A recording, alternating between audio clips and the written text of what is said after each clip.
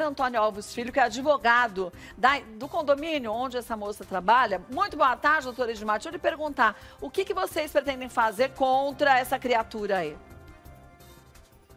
Olá, muito boa tarde a todos os telespectadores aí do programa Melhor da Tarde. Obrigada.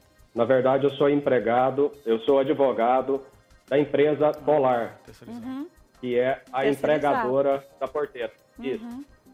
Eu não falo em nome do condomínio. Sim, mas a, a funcionária trabalha para vocês, né? Ela cuida da portaria do condomínio, né? Isso, ela cuida da portaria desse condomínio. Desde o ano passado, ela está lotada nesse posto de serviço. É uma funcionária exemplar, né? exerce a sua função com regularidade. E o procedimento que foi feito na, na tarde de domingo, onde eh, teve toda essa confusão com o morador, é um procedimento rotineiro. Né? Acreditamos que o morador ele esqueceu o controle e, ao se chegar na- no portão da garagem, ele apenas piscou o farol Sim, não vai abrir, ela né? queria, lógico, né? E ela não conseguiu identificar porque ele estava dentro do veículo. E o procedimento normal é que ele saísse do veículo, fosse até a guarita Sim. e se identificasse para que ela pudesse abrir o portão. Mesmo porque o erro Ele foi em- dele que estava sem o controle remoto do portão, né? Isso. Ele ficou indignado com essa situação e o vídeo fala por si só todas as ofensas e injúrias que ele cometeu em desfavor da nossa colaboradora. Quais processos que vocês pretendem abrir contra ele? Para que ele assuma essa responsabilidade do que ele disse e o que ele fez. Olha, neste momento, é, o fato aconteceu na tarde de domingo, né? Toda a repercussão veio à mídia ontem.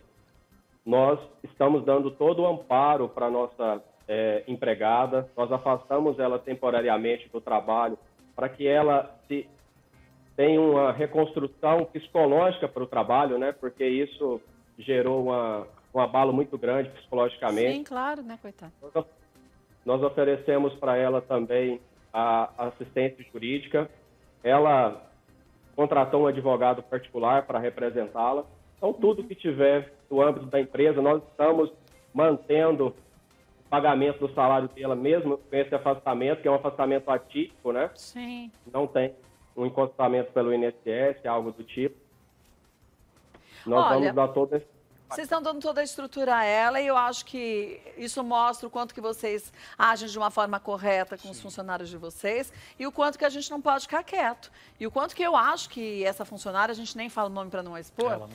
mas que ela entre em contato mesmo com a delegacia, que faça boletim de ocorrência. Já, obrigada, viu, doutora Edmar, pelos esclarecimentos, que ela leve isso até o fim, porque se a gente ficar quieto com toda vez que acontece alguma coisa desse jeito, a gente faz o quê? Estimula as pessoas a voltarem a ter esse tipo de atitude. Um absurdo. Processa